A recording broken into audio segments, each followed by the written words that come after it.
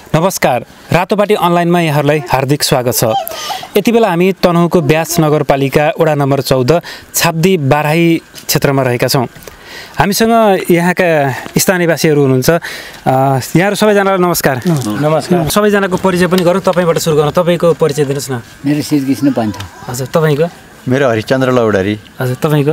मेरो जीवराज पन्थ। मेरो नाम टेकबहादुर पन्थ व्यास चौध छाब्दी। ए, तपाईँको? नारायण पन्थ। हजुर। चुनाव सुरु भयो भोट माग्न कतिको आउनु भएको छ नेताहरू? भोट माग्न आइरहनु भएको छ। अलग अलग पार्टीको मान्छे आइरहनु भएको छ। हजुर अब भोट माग्ने क्रम त उहाँहरूको जारी नै भयो। अब निकट भविष्यमा दसैँ गते हुनेवाला छ। है? अब त्यसमा हामीले खोजेका कुरा हामीले विकास निर्माणका कुरा खोजेका छौँ। जस्तो भाइहरूले भन्नुभयो कसैले मोल बिउ भन्नुभएको छ। के अरे किसान किसानको लागि चाहिने उपकरणहरू पनि हामीलाई चाहिएको छ। त्यो कुरो पनि अब पिछले समयमा केही पनि भएन। खास गरेर बाटो ठिक भएन। बाटै कहिलेबाट यो बाटो धेरै दिन पहिला चाहिँ खनेको बाटो छ। यो बाटो पनि पिच पनि भएन। हुन्छ हुन्छ भन्छन् गर्दैनन्। यहाँको आएको चाहिँ बजेट पनि अन्त्य भागमा परे हुन्छ। त्यो कारण हामी पिछडिएका छौँ। हामीलाई यो असाध्यै अ, दुःखलाग्दो कुरो छ कि हामी तुरन्त यसलाई चाहिँ गर्न पायो भने हामीहरू पनि केही पिच गरेको बाटोको छेउछाउमा बढ्न पाउने भन्ने हाम्रो धारणा यो ब्यास नगरपालिका वडा नम्बर चौधमा यो छाप्दै बाह्र क्षेत्रमा यहाँको समस्या के छ? स्थानीयले चाहिँ अलिक कति के चाहेका छन्? अब मेरो अपेक्षा चाहिँ एक नम्बर कुरो हाम्रो यहाँ छाउदी बराई देवीको मन्दिर छ। यहाँ पचहत्तर सतहत्तरै जिल्लाका मान्छेहरू आउँछन्। त्यो मात्रै नभइकन बाह्य पर्यटक पनि आउने वातावरण यहाँ होस् र यहाँको उन्नति प्रगति एकदम राम्रो होस्। र त्यो भयो भने यहाँ चाहिँ सब धेरै मान्छेहरू यहाँ व्यापार व्यवसाय गरेर खानेहरू यहाँ कुनै खेती किसान नभएका मान्छेहरू पनि छन् भएका मान्छेहरू पनि छन्। अब त्यो अन्य दायाँ बायाँका जिमिन जथाहरूमा पनि तपाईँको चाहिँ यहाँ यसो होटल व्यवसाय गर्नको लागि बाह्य पर्यटकहरू आयो भने धेरै राम्रो पनि हुन्छ।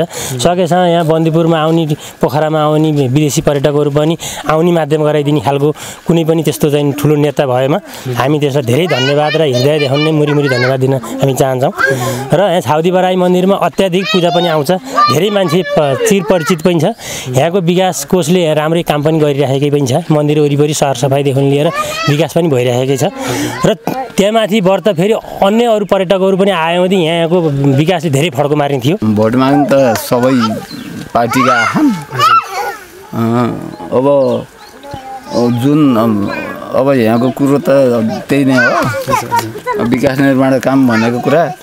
हुन त अहिले अब नेपालमा भन्दा भन्दै हुने कुरो नि हुँदैन सक्दैनन् पनि। तर के भने अलि पहुँच भएको र नभएको ठाउँमा नेताहरूले अलिक फरक चाहिँ गरेको हुँदा यो अहिले हामीले जुन कुरो चाहिँ सबैले राख्यौँ त्यसलाई तपाईँहरूले अलि नजिक ल्याइदिनुहोस् भन्दै अब यो तपाईँहरूको क्षेत्रबाट त अब जितेर जा गएको मान्छे राष्ट्र प्रमुखै बन्नु भएको छ। कतिको खुसी लागेको छ अब हाम्रो होइन, हाम्रो जिल्लाले हाम्रो जिल्लाले राष्ट्रपति पाउनु भनेको कुरा बेसरी ठुलो कुरा हो होइन? अब उहाँ जानु भएको के अरे अब कस्तो गर्नुहुन्छ भर्खर जानु भएको अब गर्नुहुन्छ भन्ने छ के अरे? के आशा आशा नयाँ आशा केही छ? आशा होइन होइन त्यही त नि। अब अब भर्खरै जानु हजुर। अब उहाँको चाहिँ पद हैसियत अनुसारको चाहिँ गर्नुहुन्छ कि भन्ने कुरो चाहिँ आशा चाहिँ छ। अब के गर्नुहुन्छ त्यो उहाँकै उसँग रहने कुरा विचारमा रहने कुरा हो। अब यो चुनावमा भोट माग्न आउने उम्मेदवारहरूले त्यस्तो केही आश्वासन दिनु आश्वासन त अब नेपालको आश्वासन हो चाहिँ अब तपाईँको चाहिँ अब कति सबै चाहिँ यो बाटो चाहिँ पिच हुने भइसकेको चाहिँ उनीहरूले आँखा दिएको त अब बिसौँ वर्ष भयो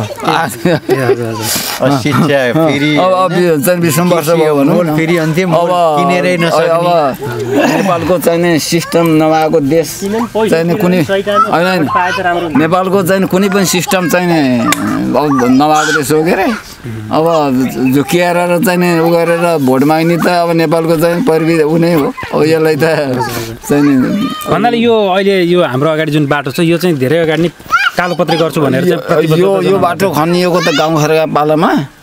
हामीले खनेर चाहिँ नि सिडिओलाई अब चाहिँ अब त्यो के अरे यातायात चाहिँ त्यो चाहिँ के मगर मगर चाहिँ के घरती मगर भन्ने चाहिँ चाहिँ यो यातायातको चाहिँ मन्त्री थिए। अनि तिनले चाहिँ उद्घाटन गर्न चाहिँ हामीले लगेर त्यहाँदेखि त्यतिखेरको बाटो हो यो। भनेपछि यो धेरै अगाडि भन्दा धेरै। कति वर्ष अगाडि खनियो बाटो? अब गाउँघरका त पालो भनेपछि त कति वर्ष भयो होला तपाईँहरू? पञ्चायत पञ्चायत पञ्चायत कालमै हामीले भन्नाले यो अहिले पचास भनेपछि पैँतालिस छ्यालिस वर्ष भइसक्यो। बढी भयो होला अझ हामीले सानो सानो थाहा पाउँथ्यो कि यहाँ गाडी लिएर आउँदाखेरि त्यहाँ छैन तर चौतिस पैँतिस सालमा खोलिएको बाटो हो कि जस्तो लाग्छ होइन बढी हो। बढी बढी तिम्रो दुईवटा गाडी आएको थियो एउटा। घर पुरानो घडेरिया राखेर न धकल्न सबैलाई बुद्धि राम्रो आओस्। अब बहुदलीय व्यवस्थाको परिणाम जनतालाई जुन बहुदल आइसकेपछि ए हामीले दिन्छु पाउँछन् भनेको कुरा जनताले चाहिँ केही पनि पाएनन् होइन? अब जस्तो राजालाई चाहिँ नि फालियो। अब जनताले सबै गएर चाहिँ रा- राजाले यो देशमा चाहिँ विकास गर्न दिएनन् भनेर। तर राजा गइसकेपछि पनि झन् चाहिँ त्यतिको पनि छैन। विशेष अब खेती गरे मोलै पाउँदैन अब अबका नेता अब नेताहरूले अब राम्रो गरून् अब कहिलेकाहीँ चाहिँ नि मान्छेमा त्यस्तो हुन्छ। अँ, अब गर्छन् कि भन्ने आशा छ। अब यसो हेर्दा पढे लेखेका जाने बुझेका विज्ञ मान्छेहरूले नै गर्नुपर्छ यो देशमा चाहिँ भन्ने कुरो चाहिँ। सबैले चाहिँ नि यथार्थमा चाहिँ आइसकेको छ कि? यो अब चाहिँ अलिकति पढाइ लेखेको उम्मेदवारहरूलाई अगाडि बढाउनु पर्छ भने होइन होइन त्यही त। अब एउटा घर बनाउन चाहिएको छ अब त्यो उसले जानेकै छैन भने बनाउँछ। तर चाहिँ अब उनीहरू चाहिँ पढे लेखेरै चाहिँ को अब सबै कुरो बुझेका जानेका मान्छेले नि त हुने हुन्छ। अब यो क्षेत्र चाहिँ अब बढी के कृषि प्रधान क्षेत्र नै हो यो। जस्तो यहाँ हामीभन्दा तल यो धान पनि लगाइसक्नु भएको रहेछ होइन। यहाँ चाहिँ के के के खेती हुन्छ यो ठाउँमा? यो गहुँ पनि हुन्छ यहाँ खेती सबै कुरो हुन्छ। चोरी हुन्छ धान भयो सबै कुरो हुन्छ। सबै हुन्छ लगाची सबै हुन्छ। यहाँ यहाँ। धान मकै गहुँ हुन्छ। फापर पनि सबै कुरो हुन्छ। सबै कुरो हुन्छ। तरकारीहरूमा पनि लगभग सबै कुरो हुन्छ। काउली बन्दाहरू अब यसलाई अलिकति- अलि अलि चासो दिने मैले एउटा कुरो अहिले चाहिँ भनियो। है? हजुर अ, राष्ट्रपतिको सम्बन्धमा हजुरले कुरा राख्नु भएको थियो। ए हजुर हजुर। त्यो सम्बन्धमा मलाई कस्तो लाग्यो भने हाम्रो यस क्षेत्रमा जाने राष्ट्रपति जाने रामचन्द्र पौडेलजी अहिले राष्ट्रपति भएर अहिले आफ्नो ठाउँमा बस्नुभएको छ। उहाँलाई धेरै धेरै मुरी मुरी धन्यवाद। मैले भन्न खोजेको के भने उहाँले उहाँलाई चाहिँ उहाँले केही पनि विकास निर्माण काम केही पनि गर्नु भएन। हेर्नुहोस्। केही पनि गर्नु भएन। यो बाटालाई यो छाउदी बाटालाई चाहिँ हाम्रो छाउदीवासीहरूले कति भने कि तपाईँ आउनु भएको छ सधैँ दर्शन गरेर आउनु भएको छ हामीले तपाईँसँग कति जिज्ञासा राख्यौँ परन्तु तपाईँले एउटा कामै केही पनि गरिदिनु भएन। हुन्छ हुन्छ भन्नुहुन्छ हुन्छ हुन्छ भन्नुहुन्छ। तपाईँ यो छाउदीमा नआए हुन्छ। भन्ने कुरा पनि आए कति कतिखेर। है? त्यो भएर चाहिँ अब यो चाहिँ अहिले अहिले आउने युवाहरूले चाहिँ यो विकास निर्माणका काम राम्रो गरून् होइन? राम्रो गरून् कि अब हामीलाई चाहिएको हामी कृषकहरूलाई चाहिएको सबै सुविधाहरू उहाँले चाहिँ सुविधा पूर्ति तपाईँहरूको यो मल बिउहरू समयमा मोल बिउहरू समयमा नपाएर हेर्नु। कति आपत परेको छ भने चाहिन्छ हामीले तिस रुपियाँ पर्ने चिजलाई चाहिँ नब्बे रुपियाँ सय रुपियाँ तक तिरेर हामीले चाहिँ मोल कहाँ कहाँबाट नानाघाट मुगलिङ गएर किनेर पनि ल्याएको छौँ हेर्नुहोस् अहिले यस्तो यस्तो आपत परेको छ। बेलामा नपाएपछि अब त्यो धान फेरि यो विकासी धान कस्तो गर्छ भन्नलाई भने त्यसलाई ट्याक्कै समयमा चाहिने। त्यो समय पाएन भने जम्मै आफ्नो त्यो अब गोरु नहुने मान्छेले पैसा नहुने मान्छेले कहाँ कहाँ दुःख गरेर कति परिश्रम गरेर त्यहाँ खेती लगाएको हुन्छ ठ्याक्कै चाहिँ त्यो धान धान निकाल्ने बेलामा त्यसले मोल पाएन भने त्यो सबै पराल भएर जाने। कामै लाए नलाइन। त्यो भएर हामीले यस्तै न्यु युवा नेता हामीले खोजेका छौँ कि सबै कुराको विचार राखौँ। सबै कुराको विचार राखेर कुन समयमा के चिज चाहिन्छ किसानहरूलाई त्यो चिजको हामीले परिपूर्ति गर्न सक्यौँ भने किसानहरू पनि खुसी हुन्छन् भन्ने उहाँहरूको चाहिँ यस्तो धारणा होस् भन्ने मेरो विचार। हजुर हजुर। है? हजुर। यहाँ चाहिँ खास गरी यो कृषियोग्य बालीहरू चाहिँ बजारमा बिक्री गर्ने बजारको व्यवस्था छ कि छैन? यो व्यवसायिक ढङ्गले उत्पादन हुन्छ कि हुँदैन? थोरै अलिक अब त्यो त अब यहाँहरूले पनि थपिदिनु होला। उहाँ सबैजनाले सामूहिक रूपमा कुरा गरौँ भनेर।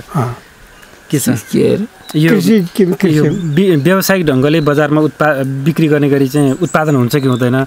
बजार व्यवस्थापन के छ सामूहिक रूपमा अथवा अलिकति व्यवसायिक ढङ्गले खेतीपाती गर्ने अवस्था के छ? खै हामीले ल्याउँदा त अब ऊबाटै ल्याइन्छ के अरे पसलबाटै किनेरै खानुपर्छ। किनेर अब हामीले लिएर हामीले लिएर गएको चाहिँ भाउ पनि मिल्दैन। हेर्नुहोस् कुनै कुनै भाइहरूले गरेका छन् अब कुनैले चाहिँ काम गर्ने मान्छेले तरकारी खेती लगाएका छन् खुर्सानीहरू लगाएका छन् यताउता लगाएका छन् उहाँ गएपछि उनीहरूले जे भने त्यतिमा दिने हो। यहाँको उनले गरेको परिश्रम कति दुःख के गरेको गएछन् त्यो उनले मूल्य पाउँदैन हेर्नुहोस्। त्यही अब अहिले अब अहिले शुक्रबार शुक्रबारको दिनमा यहाँ चाहिँ इन्डियाबाट तरकारी आउँछ त्यही तरकारी किनेर खान्छन्। अब जब हामीले गरेको फसल हामीले उत्पादन गरेको चिजलाई चाहिँ हामीले मूल्य पाएनौँ भने हाम्रो मनोबल त डाउन भइ त हाल्यो नि हामीले बिउ बिजन ल्यायौँ खन्यौँ मोल हाल्यौँ दुनियाँभरका दुःख परिश्रम गऱ्यौँ गर्दाखेरि पनि हामीले त्यसको चाहिँ मूल्य पाएनौँ भने त हामीले त त्यो खेती गरेको मतलबै भएन है। त्यो भएर अब गऱ्यौँ चाहिँ हामीले चाहिँ यहाँ टन्न खेती लगाउने भने हर चिज सस्तो हुन्छ।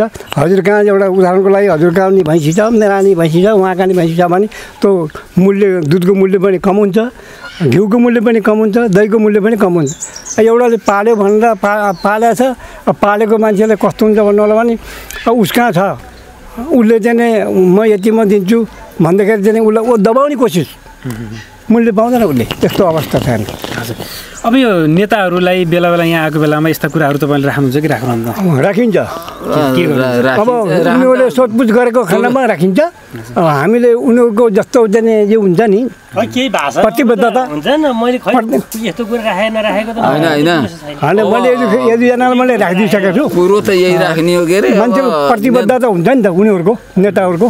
त्यो प्रतिबद्धता अनुसार रात काट्यो आज यहाँ आए सम्झिए यता खोलो कटेपछि बिर्सियो। बिर्सियो। त्यही हो पुरानो बाटो नभने यो हालत हुन्थ्यो बस्दामा यहाँ खाना खान पाइँदैन अब ठुलो गाडी आउने धुलै धुलो हुन्छ कपडा धोएर सुकाए यहाँ जम्मै राम्रो शान्ति बच्चाहरूको धुलै जान्छ यस्तो अवस्था आजदेखि चालिस पैँतालिस वर्ष खनेको बाटो अहिलेसम्म हालत यस्तो। त्यहीँ छाप्दी मन्दिर हेर्नुहोस् यहाँ यस्तो बाटोमा हिँड्नु परेको छ हामी यस्तो कन्डिसन के गर्छु गर्छु बस रात काट्यो औरक पलायो रात काटेपछि बिर्सियो सिद्धियो नौ दिन नौलो बिस दिन बिर्सियो जस्तो नेताहरूलाई चाहिँ भनेपछि हरेक पटकको चुनावको यही हो आश्वासन दिने जाने त्यत्तिकै हो, अरू केही होइन। हजुर। माखा पनि मरेको छैन।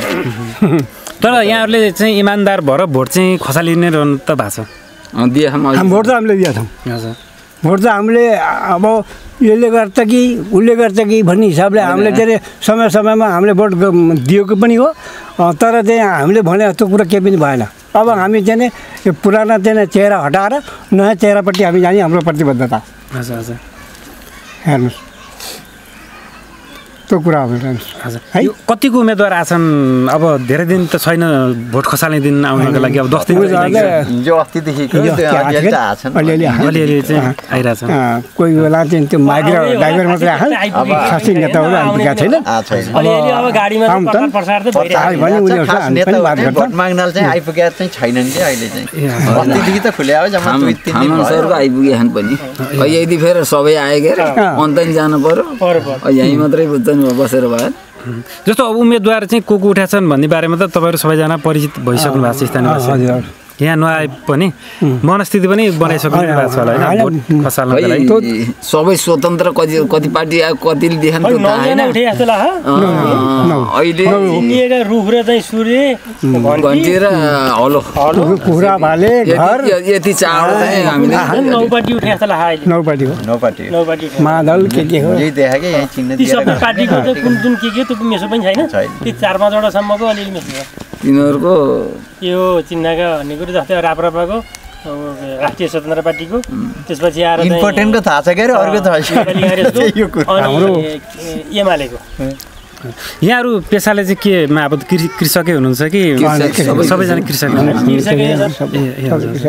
खास के के लगाउनुहुन्छ तपाईँले के लगाउनुहुन्छ मैले अब धान मकैहरू यिनीहरू त हो नि होइन? अब गहुँको उहरू तोरीहरू अब आलु बन्दा काउलीहरू लगाइन्छ घरमै विशेष है। त्यही हो हामीले आफूलाई। खाना। अलिकति त्यही अब काउली बन्दा आलु अनि अब खेत त अब सधैँ बा अब यी खेत रोपिराखिया त्यसलाई सधैँ पहिला पुर्खादेखि नै गरेको कुरा भयो। अँ, अहिले नआयो भनेको यही तरकारी अलिकति आफूलाई खाना त्यति चाहिँ गरिन्छ। यहाँको यहाँको चाहिँ हामीले किन्न पर्दैन। यहाँ त अब मेरो तर्फबाट यो के अब समय समयमा सिजन अनुसारको के? सिजन अनुसारको हामीले खेतीबाडी गरेका छौँ तरकारीहरू।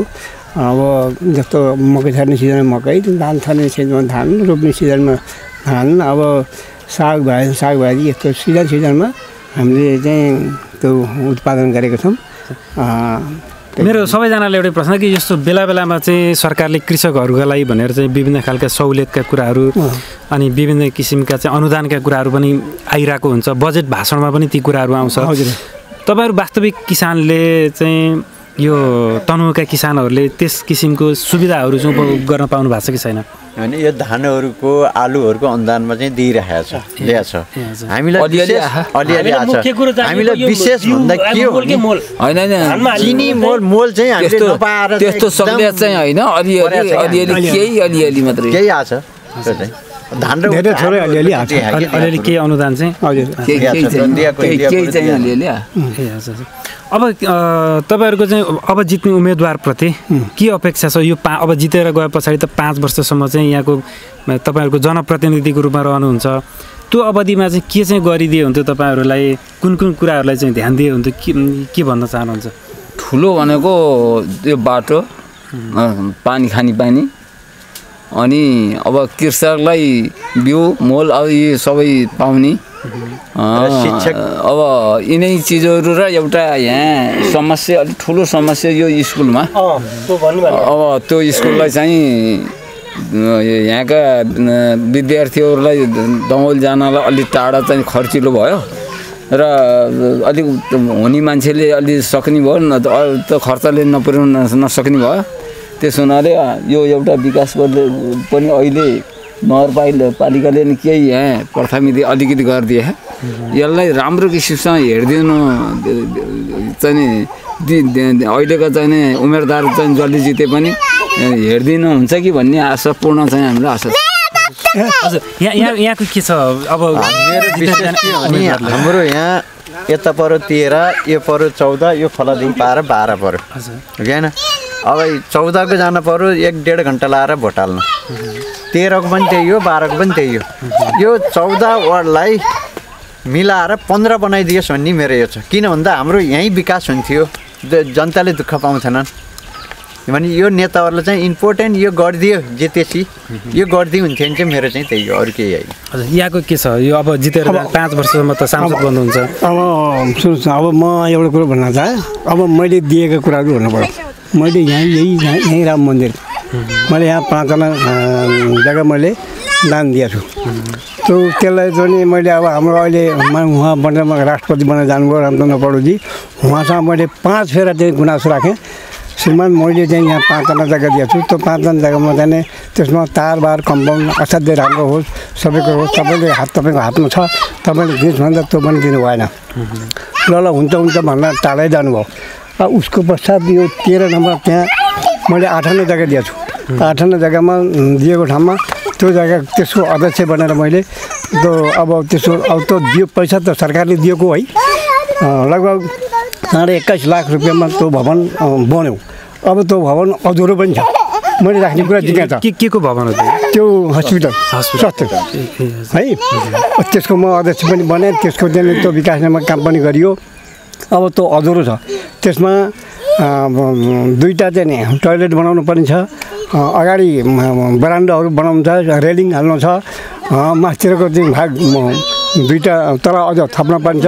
अनि विज्ञ डक्टरको डक्टरको पनि जरुरत छ अर्को कुरा यहाँ चाहिँ पचहत्तर छिहत्तर जिल्लाकै मान्छे चाहिँ मान्छे आउँछन् यहाँ धेरै मान्छे पूजा गर्ने आउँछन् अचानक उनीहरूको दुख भएको खण्डमा बिमार भएको खण्डमा त्यहाँबाट खुट्टा दौडाएर त्यो हस्पिटलमा लगेर उनीहरूले सेवा पनि पाएका छन्।